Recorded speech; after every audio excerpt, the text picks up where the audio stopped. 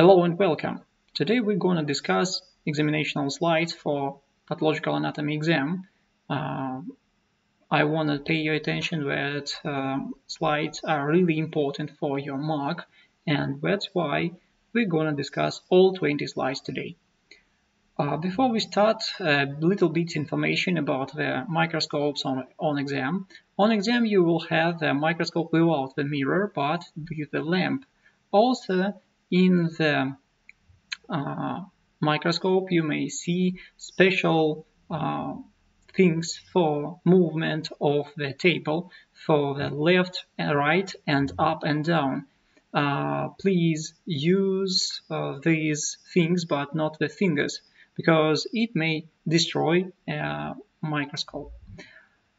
Uh, it's better to divide all 20 slides by the organs and by the pathological processes. The most of uh, slides are combined by the organs, for example, like kidney, lungs, and some others, but some of them could be the single, uh, like only the pathological process. For example, we will we're gonna start from the hemorrhagic stroke. The hemorrhagic stroke is a brain tissue with hemorrhage inside and how we may find it. So first of all you put the uh, slide in the microscope and may see the picture like that so you can't see currently what happened inside. So you have to use the microwind to find the focus and when you find it you may move the slide. So first of all uh, you should uh, exam, exam and um, pay attention for the borders of the anything which you may see on the slide. Now I may see hemi, uh, homogeneous pink masses with uh, small nuclei inside and I can't see any specific changes. Probably uh, on that area we may see some strange things. Uh, you, you may see that area have bit more red color than all, other tissues, but we may note it, but uh, will not do a conclusion right now. We're gonna examine it, all slide. You, and also we may see the second and third area with same changes. And now we may see more of these areas in that area of the uh, vision. So uh, now we may see the huge areas of red masses and these red masses has uh, homogeneous structure. Uh, we may choose uh, another objective of the microscope and see closer what happened in this area. In that area we may see uh, some particles with red and brown color. Uh, this brown color mostly associated with uh, oxygenation of the blood uh, in the processes of histo histological examination. Uh, the mostly, most important uh, things which we should note is the red color of the areas and red small things, uh, small points which we may see on the slide. On these objective, we may see small red dots inside of these red areas. And these red areas uh, infiltrate by erythrocytes, red blood cells. Red blood cells in the tissue means hemorrhage. And uh, also we should find the organ. The organ which has uh, homogeneous uh, structure uh, with a lot of cells mostly should be the brain. So by these features, we may make a conclusion that on that slide we may see hemorrhagic stroke. Also, we may see a lot of red areas on that slide and a lot of places with hemorrhages here.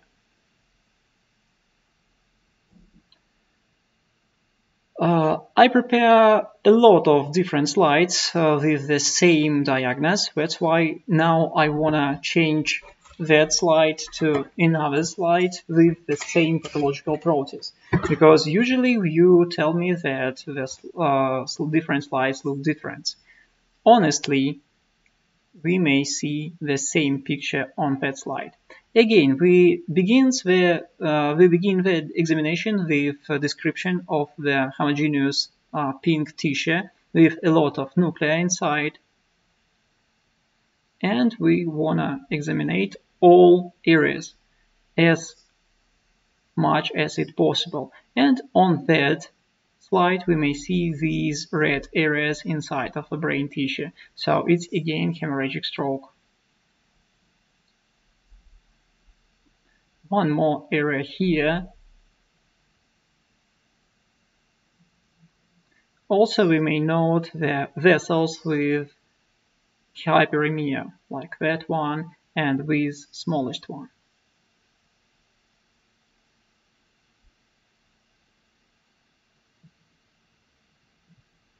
So on that slide, the hemorrhagic area localized only on that areas of view. And the third case with the same diagnosis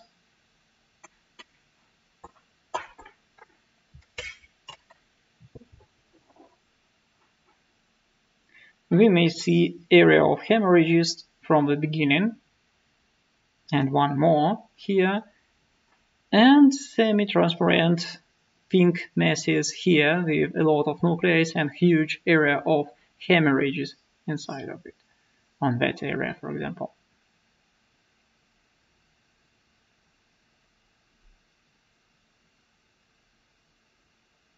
The diagnosis is the same, so it's hemorrhagic stroke. I hope you note some similar things which we may see on all these three slides. It's a semi-transparent homogeneous pink masses with a lot of nuclei and areas with red coloring, so it's a places of hemorrhages. So not only the diagnosis is uh, necessary to tell to examinator, also you may describe the picture which you may see here and uh, you may suggest the reasons for formation of that pathological processes. That's why we, uh, we may ask you about some other things or about that slide. So uh, probably we finish with that slide. Let's change our case to another one. So uh, firstly, we should find any things which we may see on the slide. Here we may see uh, or pink masses with inflammatory lymphocytic infiltration inside. Now we may only describe the picture which we may see.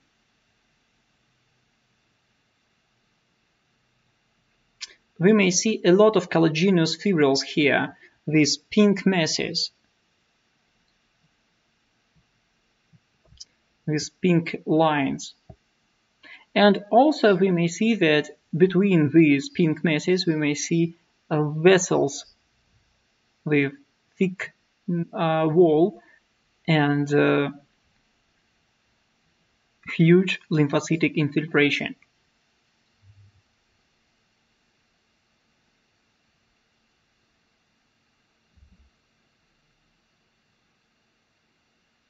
Now we should close examine that morphological formation. Uh, we may see more elastic fibrils here.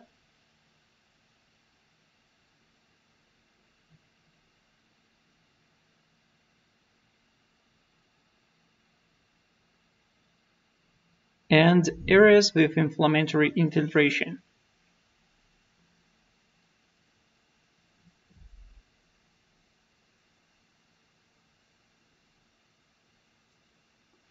Honestly, we have to find some uh, cells of endothelium of vessels because that slide is mesarteritis, syphilitic mesarteritis.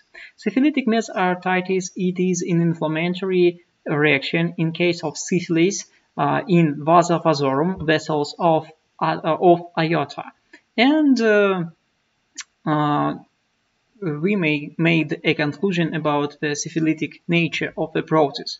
But on that slide, we may see only the wall of elastic vessel with huge inflammatory infiltration. And uh, like an exception of all other 20 slides, we may, may do a conclusion that we may see syphilitic mesoarteritis. Try to change that slide to NR1. Probably on the next one we can see some cells of endothelium.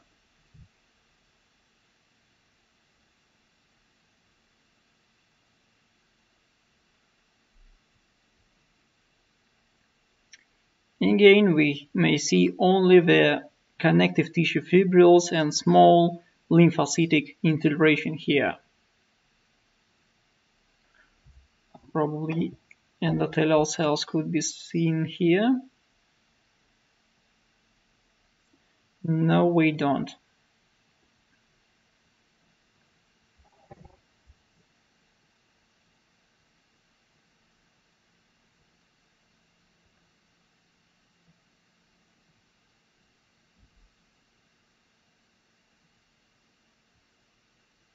The inflammatory reaction here is more pronounced on that areas and uh, the combination of elastic fibrils and uh, uh, inflammatory areas led us to make a conclusion about syphilitic mesoarteritis.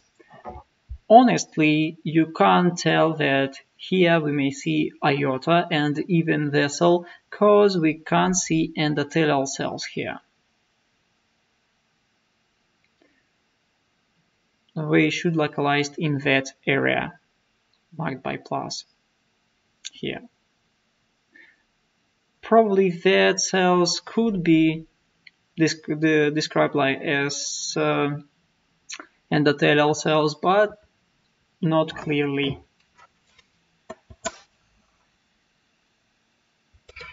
And the last one.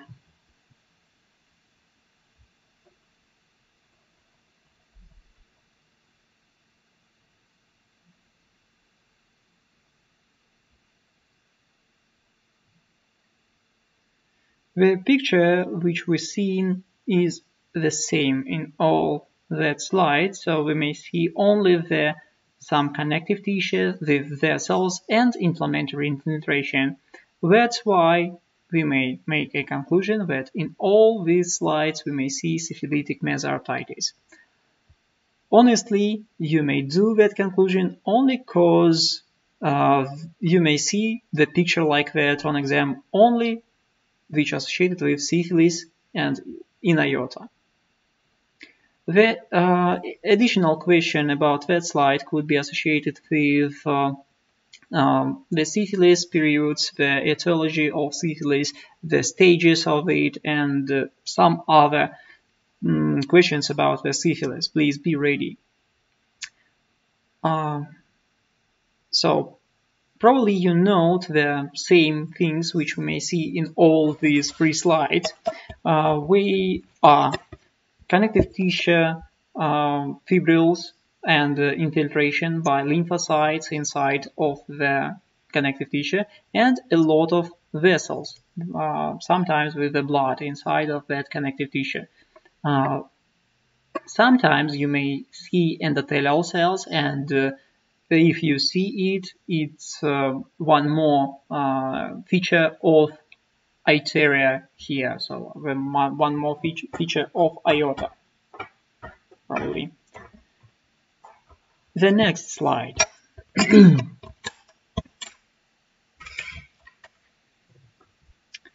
uh, again, we begins the examination from the border of the morphological formation and here we may see some kind of muscle tissue. The muscle tissue looks like uh, single fibrils uh, on the slide. Also, we may note that some something happens with that connected uh, with these muscle fibrils because uh, their structure is bit changed. They are a bit more pink and uh, has more um, hyperchromic reaction here. Also, we pay attention for vessels inside of the muscular tissue and they are full of the blood. Uh, it's one of the marker of myocardial infarctions. But for clinical diagnosis and for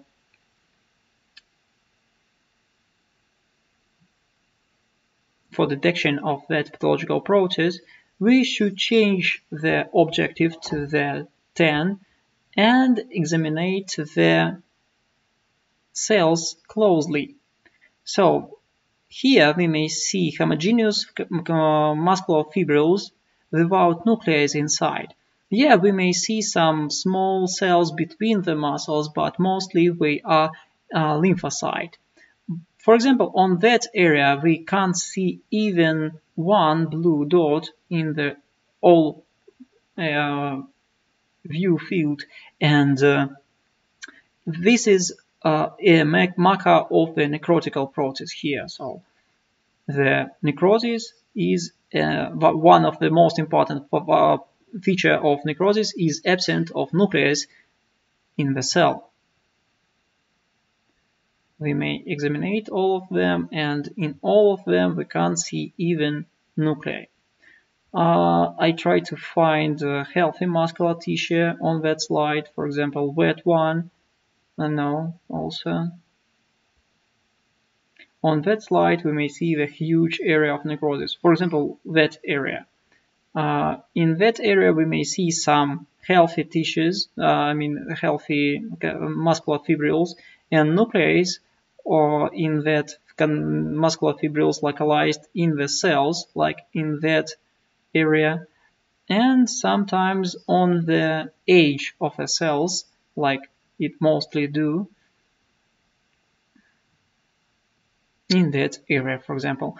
On that slide, in this area, we may see the healthy muscular tissue, and in that area is a myocardium infarction. Let's change the slide to another one.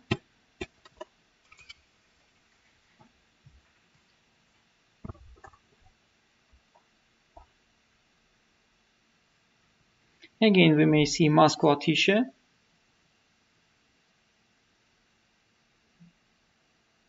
with huge edema, the lymphocytic infiltration between the muscular cells. We may note the vessels with blood in that area, here and here.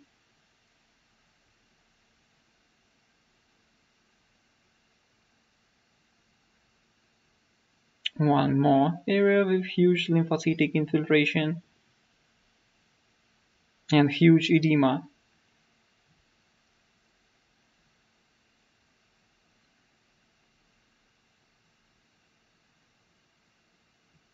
we should examine as more, as more fields of view as we can. And in that area, for example, we may see uh, muscular fibrils without the nucleus again. So there is no any nuclei in all these fibrils of the heart. And also you may see that connective, uh, sorry, muscular fibrils are fractured and uh, it's one of mm, one of the feature of myocardium infarction. Fractures of, fractures of muscle fibrils, like here. And also we may see lymphogenic infiltration in that area. Uh, that infiltration could be associated with formation of demarcational zone of inflammatory process here and please pay your attention to edema of the tissues. We may see that space between the cells is too huge. It's associated with accumulation of fluids between these cells. It's again one feature of necrosis. And the last one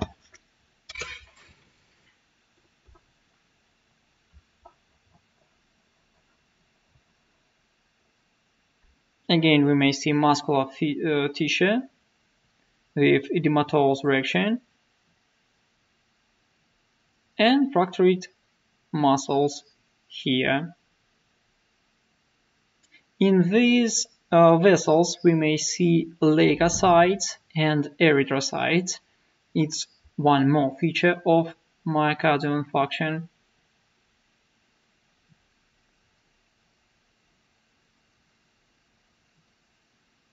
So, and when we look closer, we may see that muscular fibrils without nucleus.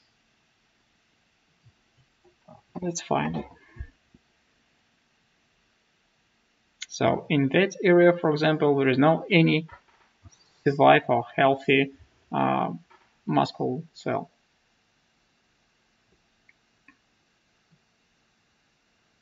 So the same features of a myocardial infarction are muscular cells inside of the slide, the edematous reaction, and one of the most important thing is absence of nucleus inside of cardiomyocytes. Also, uh, like an additional features of myocardial infarction, we may note edema and uh, the demarcational inflammatory reaction. Let's change the slide.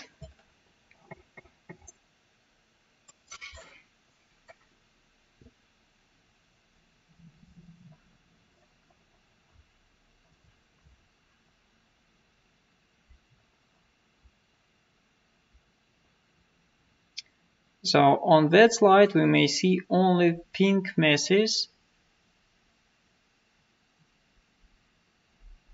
Here it looks better. Here we may see some piece of muscular tissue, some piece of fatty tissue, connective tissue fibrils. This is fatty tissue, connective tissue fibrils, and muscular fibrils.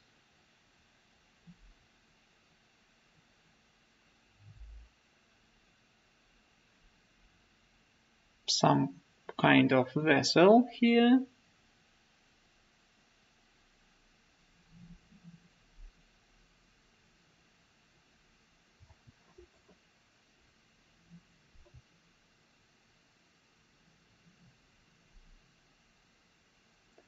Let's much more areas of view here.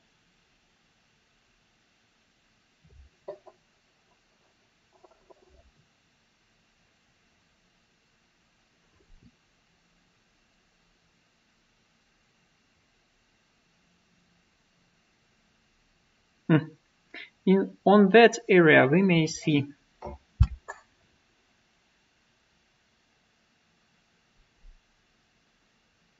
a lot of small vessels here, here, and here also. And between these vessels we may see fibroblasts, lymphatic infiltration,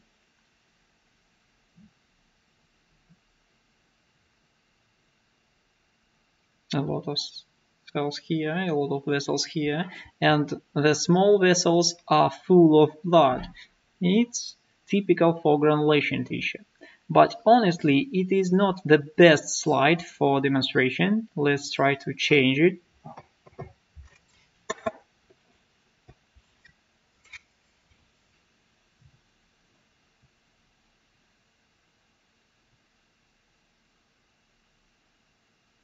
Oh, probably the area which I suggest to muscular tissue is the areas with vessels Yes, it is. So uh, there was not the muscular tissue, but the small vessels which are full of the blood. So we may see a lot of vascular cavities inside of that area, here, here, and here. Uh, and uh, so, and inflammatory cells nearby it, here and here it really looks like muscular tissue, but it's not a muscular tissue. So I was confused and uh, that's why you have to examine the areas in small and closer objectives. Uh, the small objective has red, red ring and the medium objective has yellow ring. Now I watch the slide in yellow ring and I may see that that pods, which I uh, mentioned that were uh, muscular tissue, is a granulation tissue and it really looks typical.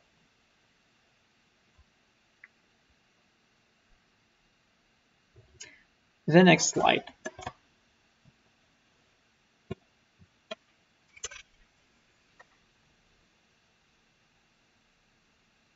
So all slides with connective uh, or with granulation tissue in that compilations made from one patient and looks the same. But it doesn't matter that all granulation tissue looks like that.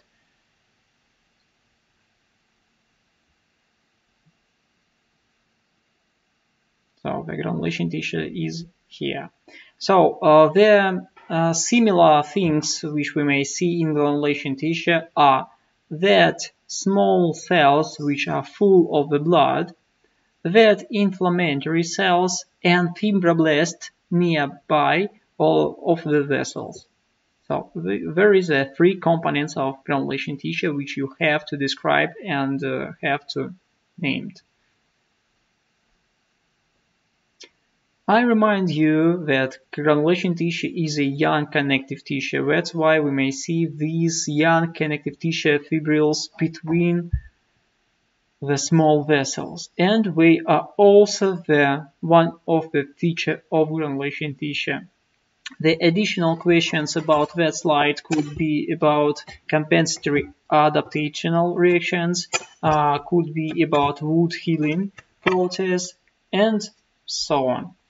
Please be ready. The next uh, part of the cell of the slide will be about the liver. So, firstly, we may see the slide like that. The first thing which we should do in any case of the slide examination, we should suggest the organ.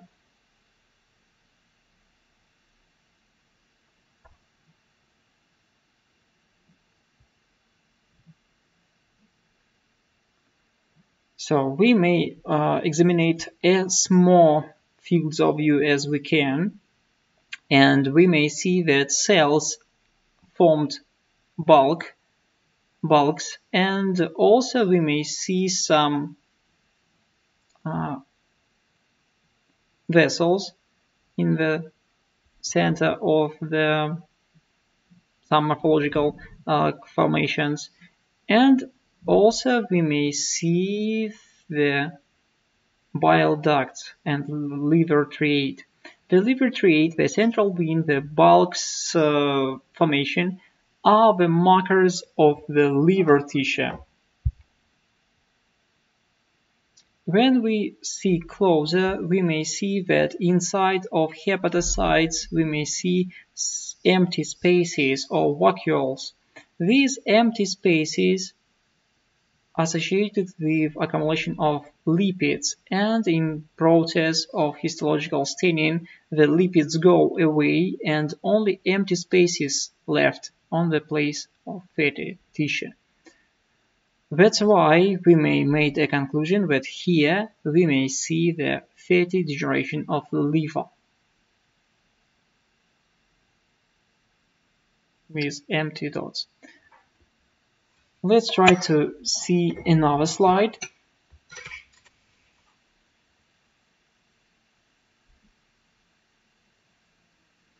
Bulks looks better here. We also may see the central vein here better and liver triad also we may see better. For example, here.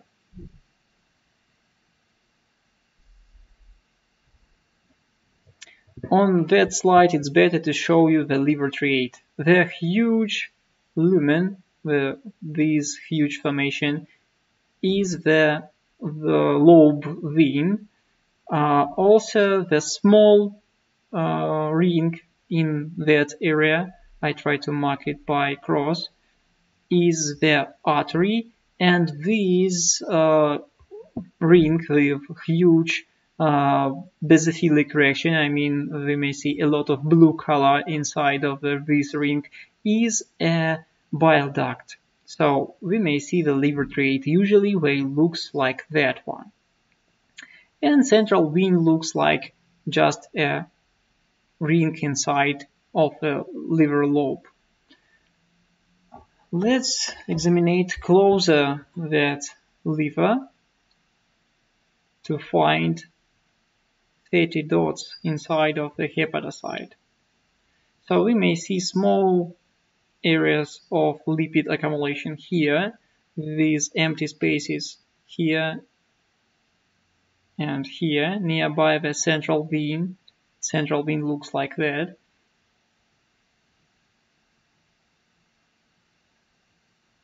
So on this slide we may see better the parts of the liver, I mean histological picture of the liver, but not uh, huge reaction of fatty degeneration of the liver. But we may note some empty spaces inside of hepatocytes. So by these features we may make the conclusion about the fatty degeneration of the liver here. About that also, on that area we may see more small bubbles inside of hepatocytes. I hope you see these empty white spaces inside of hepatocytes in that area. And we may do a conclusion, make a conclusion that here we may see fatty degeneration of the liver. Let's change uh, slide to the last one. and it looks the same and we may see the small pulverized uh, droplets of the fatty fats inside of hepatocytes. So the similar part of the fat degeneration of the liver are the bulk composition of the liver tissue the um, liver triad, the central vein, and some empty spaces inside of hepatocytes. All of these features let us to make a conclusion about the fatty degeneration. The next slide is about the liver again. And here we may see that color of this slide is different. Uh, I may see that uh, color is changed. Uh, in normal uh, condition it should be green, but here we may see orange. it's cause uh, the staining um, be uh, oxygenated and change the color to the um, orange one. But usually it's sh it should be green one, and the that areas should be the uh, should has the red color. So here we may see the bulks, but inside of that bulks we may can't see the central vein. This feature calls like fake lobe. And also we may see uh, huge connective tissue fibrils between the fake lobes. And all these features let us to make a conclusion about portal cirrhosis. The additional questions will be about the cirrhosis in general and some kind of liver, liver troubles. The staining which used here is one Gison reaction. van Gieson reaction is a special staining to connective tissue and the connective tissue should be red one. But on that slide we can't see the typical reaction but we may see these connective tissue fibrils between the fake lobes of the liver. Let's try to change the slide to another one, probably the staining will be better.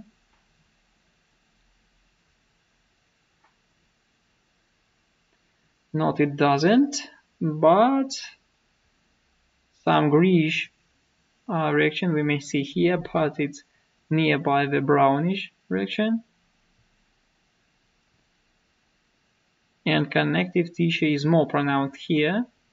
We may see the fake lobe here and connective tissue between the fake lobes again. Also, we may see some fatty changed inside, inside uh, fatty duration in the uh, hepatocytes. It's typical for um, cirrhosis uh, that uh, because it leads to some hypoxic reaction inside of the lobe and we may see some areas with fat degeneration of the liver inside of fake lobes.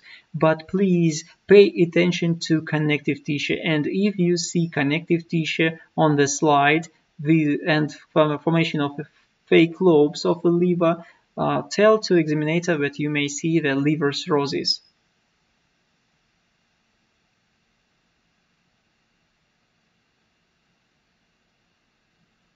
and try the last one. The last slide is orange again, but connective tissue here is red, is its typical reaction. So here we may see non-specific coloring of the liver uh, tissue, but specific coloring of the connective tissue. So connective tissue in case of von Gieson reactions should looks like that we may see red areas of connective tissue inside of the tissue of liver.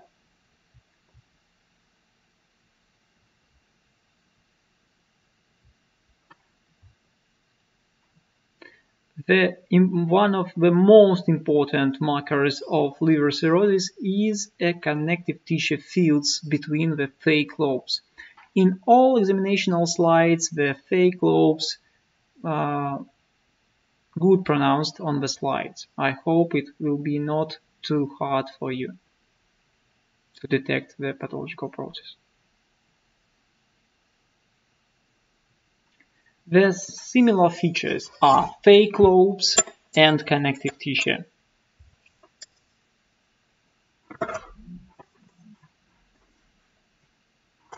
The next slide is a single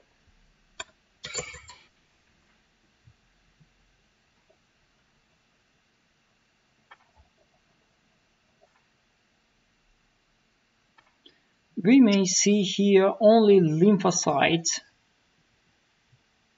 and some kind of a black pigment inside of it. We I try to examine a lot of different fields of view and you may see that there are a lot of black dots on the surface of that slide. let's try to see closer and when we go to see closer we may see that between lymphocytes there, there are a lot of areas of black pigment accumulation and so we made the conclusion that organ is a spleen and the black pigment inside of a spleen is a hemomelanin. Hemomelanin is a um, pigment which synthesized in case of malaria. So, and in the finally we made a conclusion that we, uh, the slide is a spleen in malaria.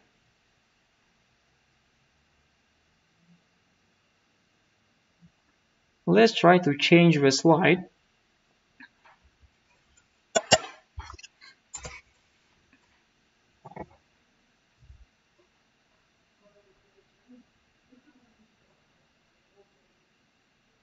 The parts of tissue are the same.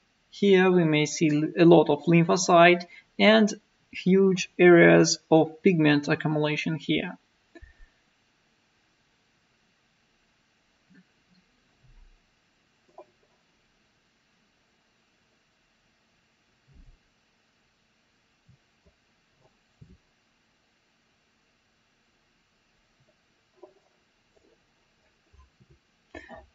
Let's try to see closer.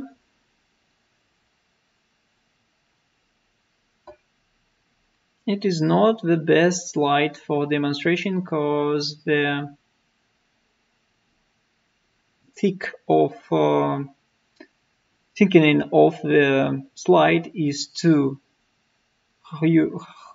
huge and uh, that's why we can't see even the lymphocytes, red and white pulp of the spleen here, but we may note some black pigment in the lymphoid tissue and it again led us to make a conclusion about the uh, spleen in malaria.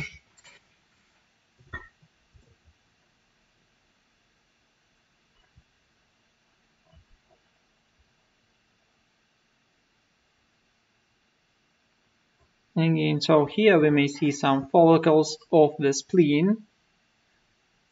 That one. And nearby it we may see the black dots of the mm, mm. So it again led us to make the conclusion about the malaria and spleen in malaria. The questions will be about the pigment and some chromoprotein disorders. Please be ready to answer uh, for that question.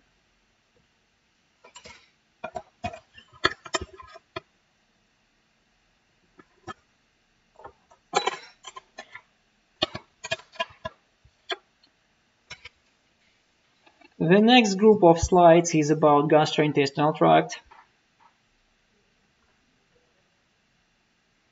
Here we may see some wall of an organ with glands and uh, lymphoid follicles.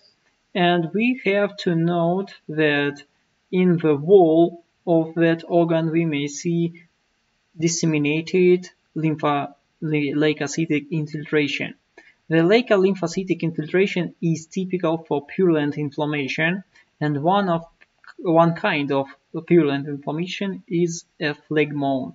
So on that slide we may see phlegmonous appendicite. So the typical manifestation of appendicite is the glands and lymph uh, lymphotic, lymphoid follicles in, under the glandular part and uh, disseminated leukolymphocytic infiltration of the uh, mucosal layer like here in that areas. And these features led us to make a conclusion about phlegmonous appendicitis. Honestly, the phlegmonous appendicitis is one of the most easy, the easiest slide on an exam. So I try to show you uh, only one slide on exam looks like ring with uh, pink and uh, blue color. So if you see something ring-like, it's mostly appendicite, but please check yourself by the light microscope. Let's try to watch one more and go ahead because that slide is too easy to detect.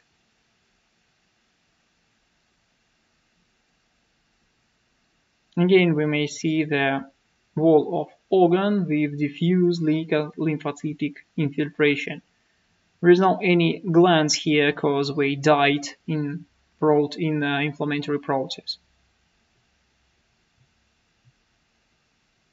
I hope you can see it. And again, it's different slide, but it looks like that one.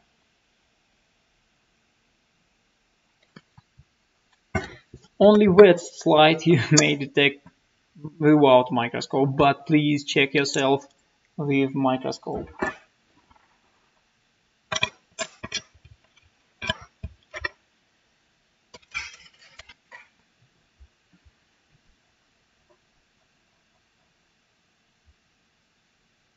Uh, here we may see the part of the stomach. We may see the stomachal glands, stomach glands here and uh, uh, when you try to uh, describe some parts of GAT, firstly you should find the uh, mucosal layer. And when you find it, you should go ahead the mucosal layer to try to detect some kind of troubles.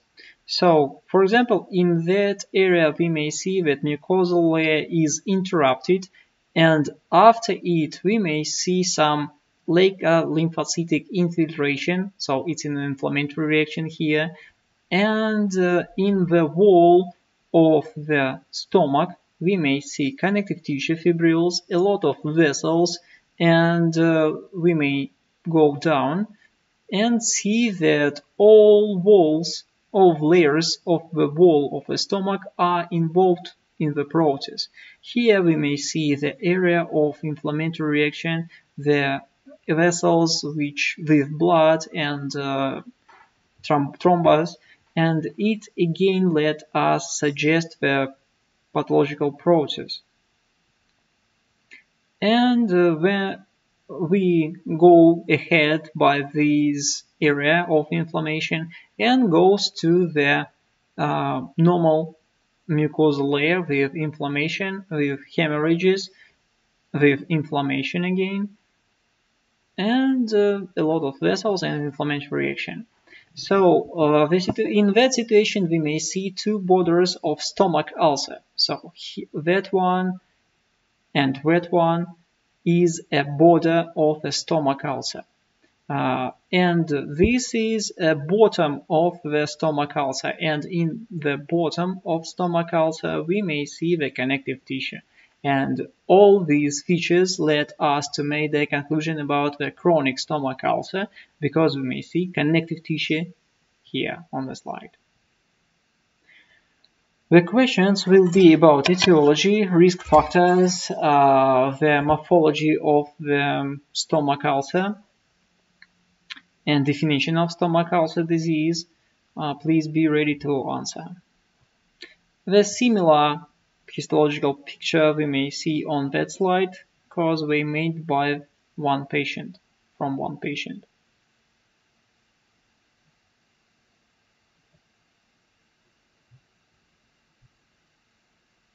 But probably connective tissue fibrils are more pronounced here. It's better to try to see it here.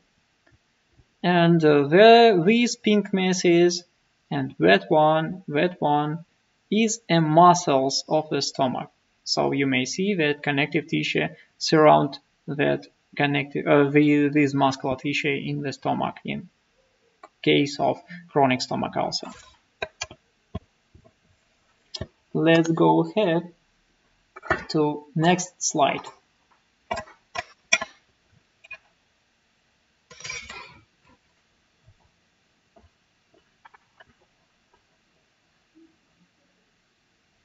So uh, here we may see one part of gastrointestinal tract and again we may see that we have to find the mucosal layer.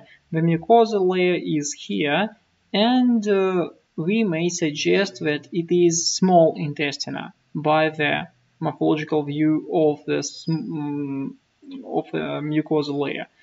Also, we may see some areas with necrosis and inflammation here. And all these features led us to make the conclusion about small intestine due to cholera.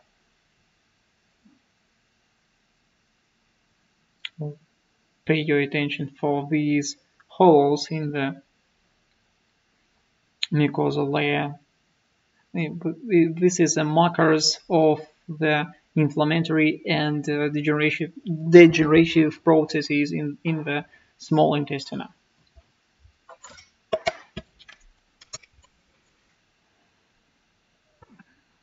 The another slide and it looks the same. We may see these hollows in the uh, mucosal layer. We may see the inflammatory reaction here, the necrosis also in the mucosal layer of the small intestine. Also pay your attention to edematous transformation of the ball of the small intestine, which it is also important for correct diagnosis.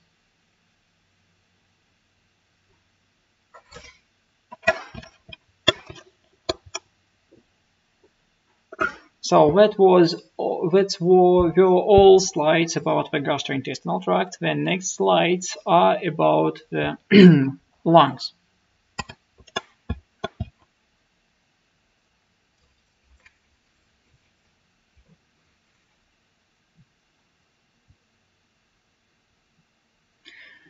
So the lungs looks like a lot of empty spaces with thick walls and sometimes we may see something special inside of them. So, for example, here we may see the inflammatory infiltrate inside of the alveoli. We're gonna change the objective to closer one and we may see leukocytes here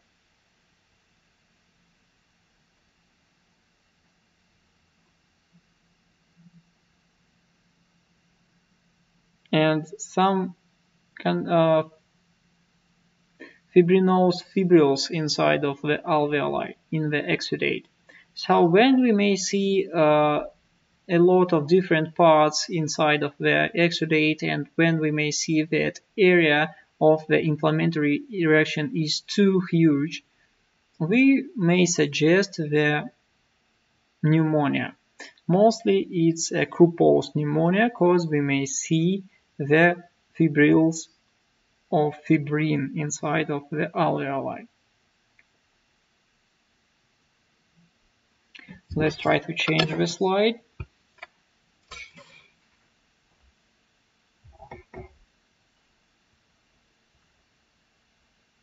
Oh, that slide is better, show us the histological picture of croupous pneumonia.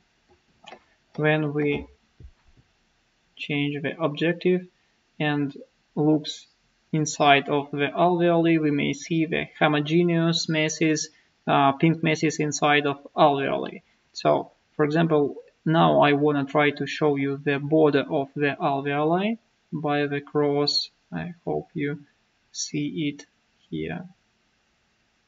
And uh, nearby the wall, we may see a space of alveoli. So in the alveoli, we may see some fibrils of fibrin and it is a marker of croupous inflammation.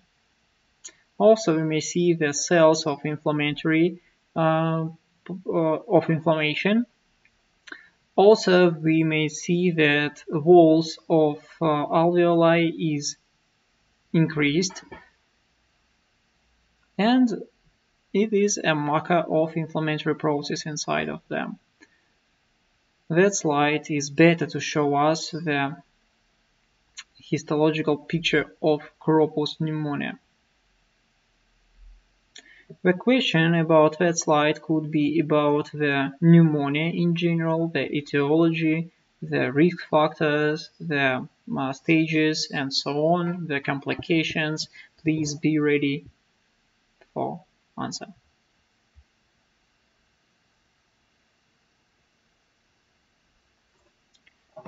Let's watch it on the small objective.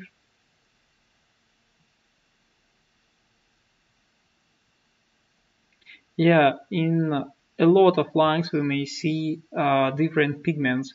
If pigment has black color, mostly it is a, a coal, coal from the air which breathing in the cities. That's why it's not a brown induration of the lung. It's usual pigment of the citizen.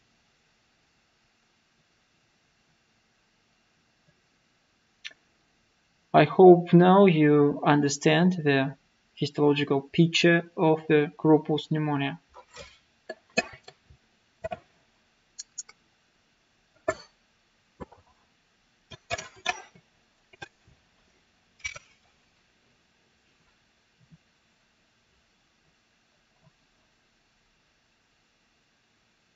We may see the pulmonary tissue again, but uh, we can't see a croupous inflammation here because the alveoli is empty.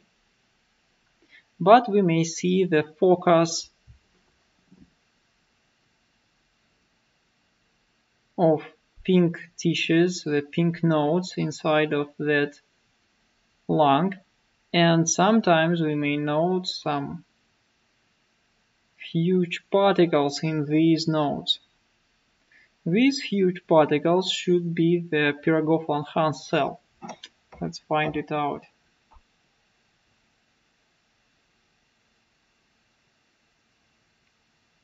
It is not the best example of the Pirogov-Langhans cell, but it is the Pirogov-Langhans cell. So we may see that cells, cell is huge and the nuclei on it localized like arc.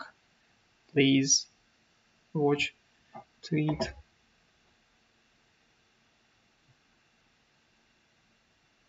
closer.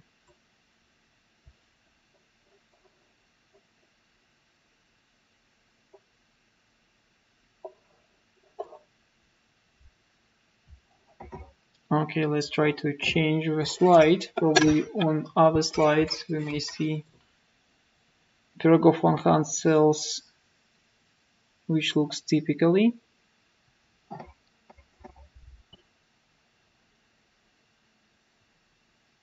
So for example here we may see that areas is again the Langhans cells but not the typical.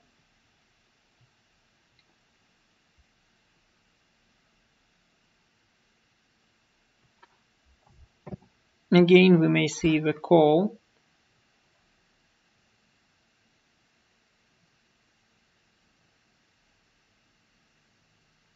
Mm -hmm. On that area, we may see the typical example of the Pirogov Langhans cell here.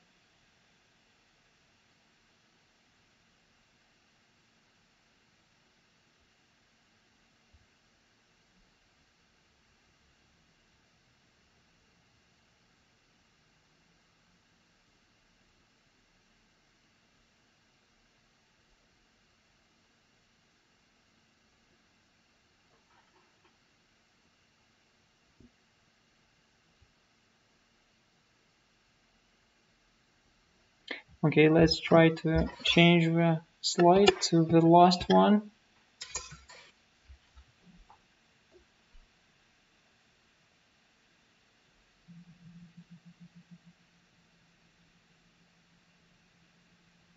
Again, here we may see the pulmonary tissue with atelectatic areas. And here we may see the typicalist Pirogov Langhans cell. It should like that. Not all of them are so huge, but in typically we may see the huge cells with arc localization of the nucleus in small area of tuberculum node.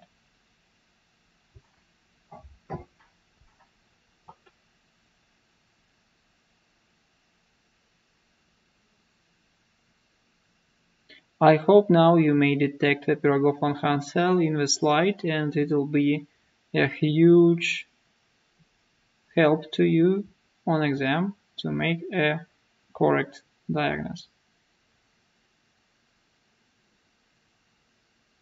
One more Langhans cell here.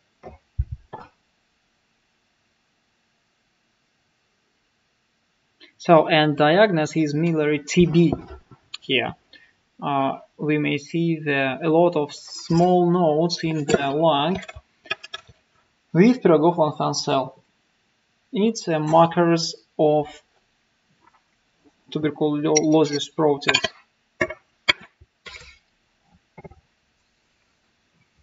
The questions will be about the um, definition of TB, the stages and forms of it. Please be ready.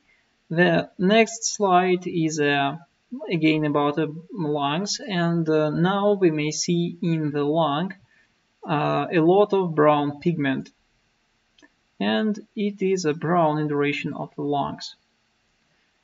The additional question about that slide will be about the elective stains for hemosiderin because hemosiderin we may see in the areas of lungs so please pay attention to difference of hemosiderin which localized here and the call which we may see on that area. Here we may see the call here we may see the uh, hemosiderin let's watch one more slide and here it's better to see the brown areas between the alveoli. and the col again. This is a col. This is a hemosiderin. The color is different. The col got black color, the hemosiderin brown. The Perls reaction detected will detect it.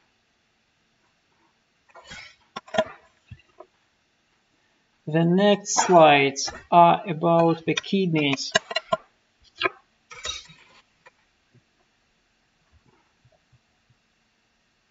So first of all, uh, how the easiest way to detect kidneys is find the glomeruli. So that formation, that formation, and that one is a glomeruli. Glomeruli is easy to find in the slide because we are huge and uh, only by the glomerulus we may suggest that we can see kidney on the slide. Now we may examine all areas of view of the slide and uh, can't see any specific um, on the red uh, objective. When we change the objective to the yellow one, we may see the epithelial cells of the tubes, the tubes this small formation, and inside of the tubes there is no any nucleus. That's why we may suggest a diagnosis. It's better to see it here. Now, the diagnosis will be necrotic nephrosis or acute renal failure. You may see here the empty cells of epithelium of convoluted tubes. It is the easiest slide probably on the exam.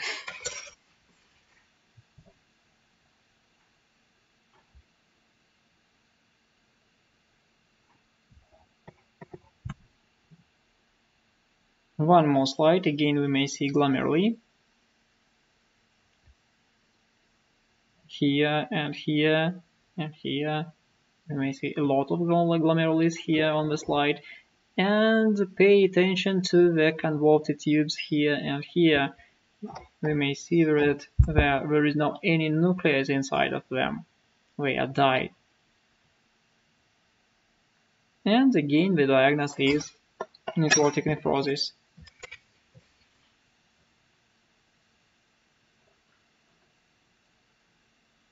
Again there is no any nucleus inside of the uh, epithelium of convoluted tubes. This is a tube and this is glomeruli. Please re remember it on the exam because well, sometimes we ask you and you choose some different structures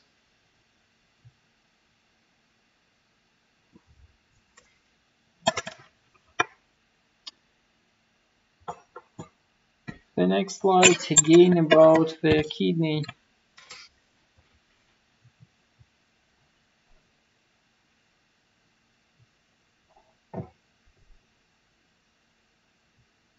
So we may see glomeruli here, we could looks different. This is glomeruli and also this is glomeruli, but we may see some homogeneous red masses here and here and also some red masses inside of glomeruli here and here and here. So on this uh, slide we may see homogeneous semi-transparent red masses in the stroma, uh, glomeruli, tubes and uh, wall vessels of wall, for example, like here, and all these markers led us to make a conclusion about amyloidosis of the kidney. Uh, and on that slide, we may see the Congo red, uh, Congo red uh, elective staining. It is an elective staining for amyloid, and amyloid becomes red. Here, I hope you can see it on the slide that all places with red color is a place of amyloid accumulation. But not all slides on the exam are colored by the Congo red. Some of them got hematoxylin eosin reaction. And uh, in that slide, the uh, amyloid will have just pink homogeneous masses in the glomerulus. On that slide, it's again Congo red reaction. You may see it here and here. So the picture is the same, but probably amyloid is more pronounced here in that uh, kidney and it's better to see it.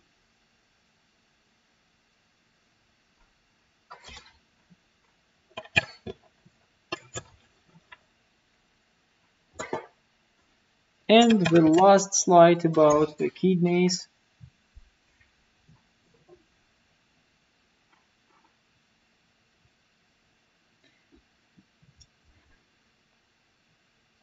We try to examine as, more as more fields of view as we can. And uh, something wrong with the glomeruli we may note. For example, here, in that area, we may see that capillaries of glomeruli are constricted and uh, under the capsula of Shumlyansky we may see the semi-lune formation here and in the capillary in the glomeruli nearby it and in some other glomeruli also. So, and only by these semi-lunes formation we may make the conclusion that uh, this is a subacute glomerulonephritis. Please pay your attention to that glomeruli.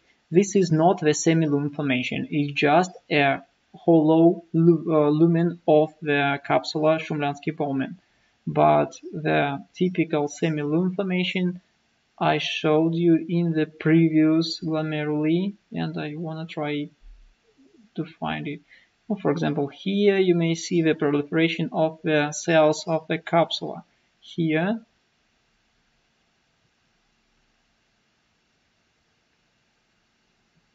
uh, sorry try to find it again.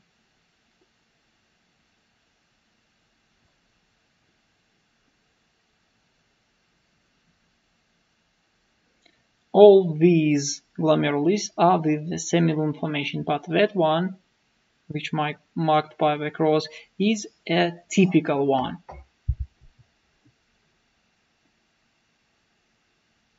So if they ask you to draw the uh, uh glomeruli with the semi-lune, try to draw that one.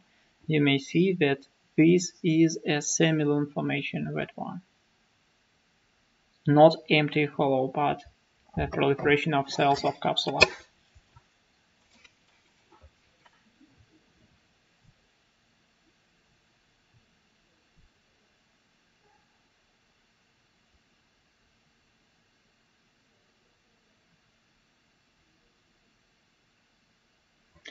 Here we may see the same picture in that glomeruli and in that also.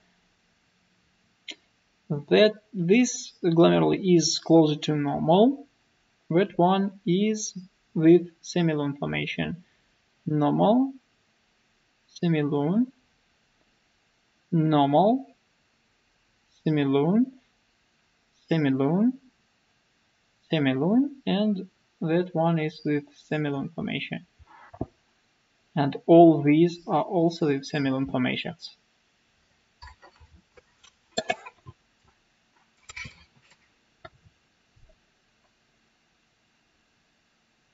Here we may see the normal glomeruli. Uh, it's difficult to say that they are normal because this increase of uh, lumen of capsula is not uh, and normal, but we are without the semi-lunes. There is no any semi-lune here on the slide. Try to find them.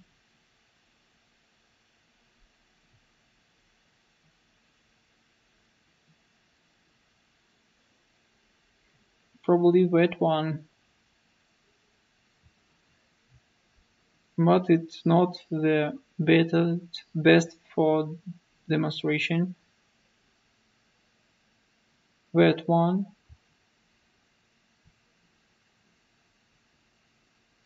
and wet one also. Let's try to check it. Yeah, we may see that the cells of capsula are proliferate. You may see it here, but it is not the best for demonstration. The typical semi-lumen formation was shown bit earlier in the previous slides. And the last uh, chapter of our uh, video is the tumors.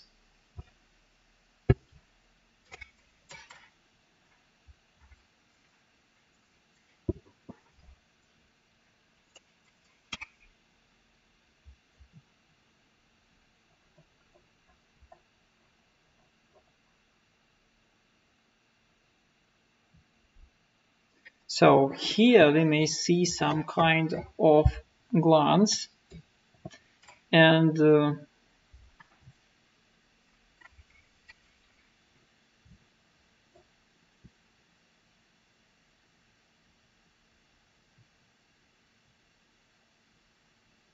we may see a lot of glands here and here and also we may see huge component of connective tissue and when we see huge overgrowing of connective tissue the, uh, with atenosis of the glands, it must be the fibroadenoma of mammary gland.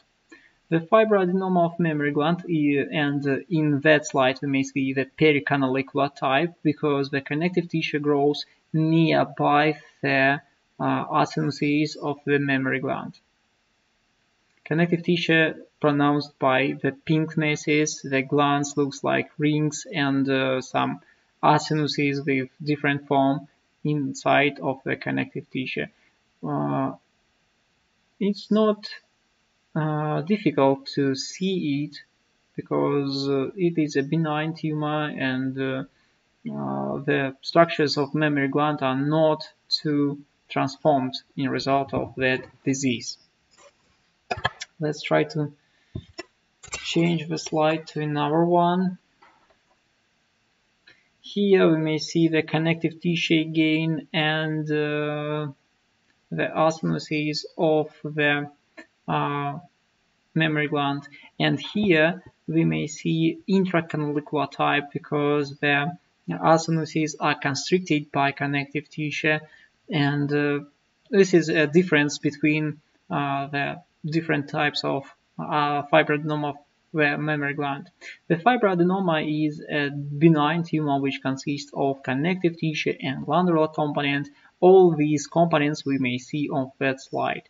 And I hope it will be mm, easy to detect it on the exam.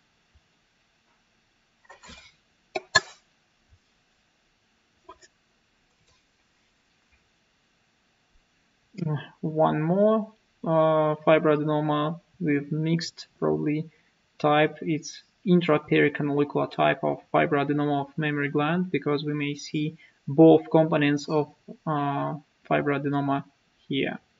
Some small acinuses are constricted by the connective tissue, some acinuses are not, some ducts. We also may see all components of the mammary glands here and it's typical for fibroadenoma of mammary gland. The questions will be about the tumor, uh, tumors, the fibroadenoma, what does it mean, how will you give the name to the tumor, and so on. The next slide also about the tumor, we may see some atypical picture which we can't see in any organ and uh, these formations looks like the glands but they are not the glands that's why we may suggest the adenocarcinoma. Adenocarcinoma is a malignant tumor out of um, epithelium uh, out of glandular epithelium.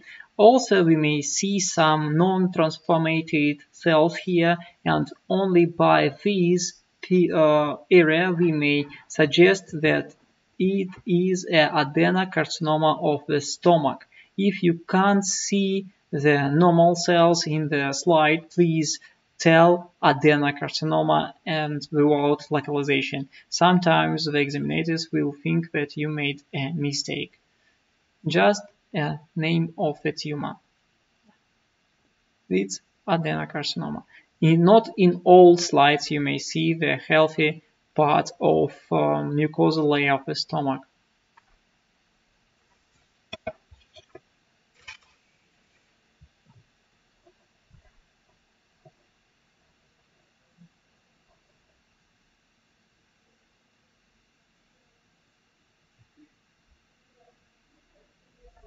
For example, here we may see only some atypical glands with atypical cells. The cellular atypism manifested itself by atypism of nucleus and atypism of cells. Uh, I mean, the forms of cell. Uh, look at these uh, cells and their nucleus. There is no any similar cells inside of that area. The nucleus looks like different, we have different size, we have different forms. Sometimes we may see uh, some atypical mitosis here, and all these uh, components are the markers of the cellular atypism. Also, on that slide, I can't see the normal cells of the organ, that's why the correct diagnosis here will be adenocarcinoma about uh, localization.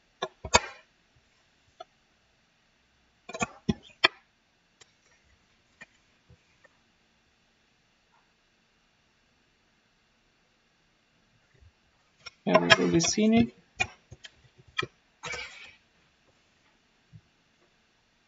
And the third looks very similar. So I hope you feel the differences between, so not the differences, but you feel the special features of adenocarcinoma. It's a glandular-like composition, the cellular atypism, and probably it's all. The next tumor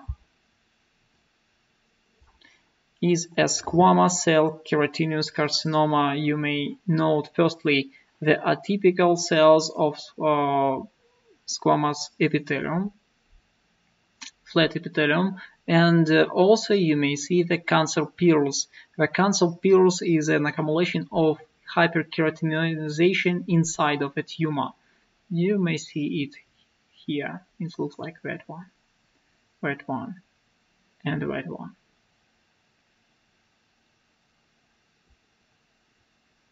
Hmm, on that area probably it looks better.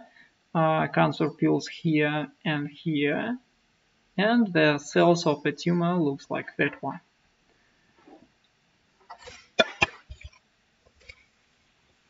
The squamous cell keratinous carcinoma one is the easiest slide out of the tumor for detection because you may see these cancer pearls which in 100% cases let you make a correct concision. Mm, there are a lot of cancer pearls here. And please pay your attention to composition of the cells. The cells looks like homogeneous, so they have different form, the huge nucleus with hyperergic, uh, hyperchromic reaction.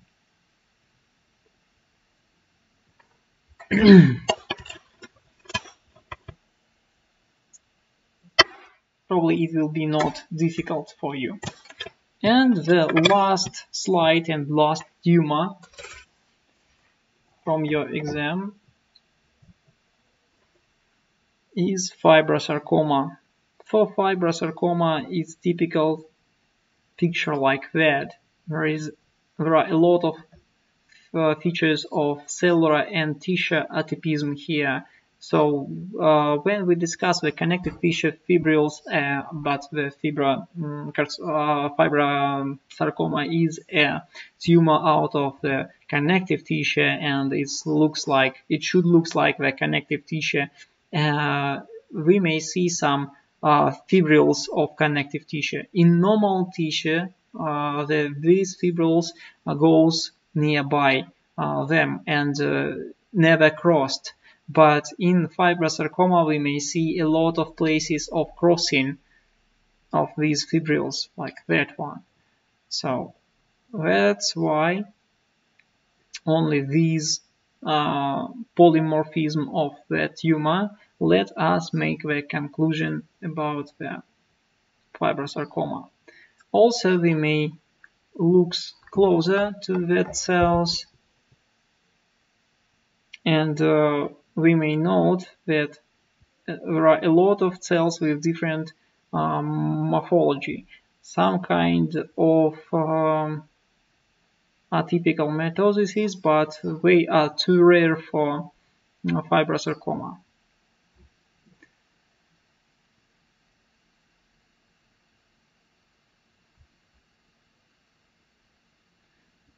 So when all slides looks like that, you may suggest the fibrosarcoma.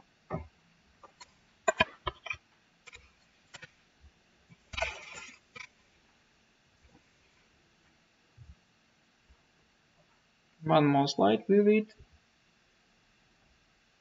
Again, we may see connective tissue fibrils with hyperchromic reaction of nuclease. And we may see a lot of crossing of streams of these uh, connective tissue fibrils.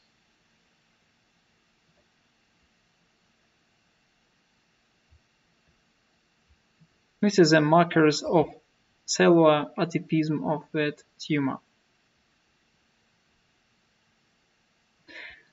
Uh, this is really difficult slide for detection and uh, probably sometimes you may do the correct uh, diagnosis like an exception of all other slides.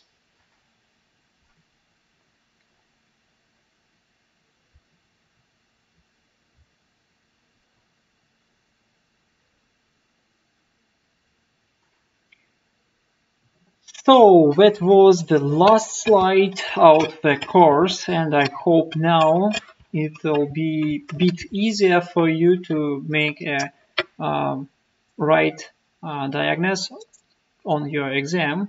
Uh, so good luck on exam. See you on exam. Bye.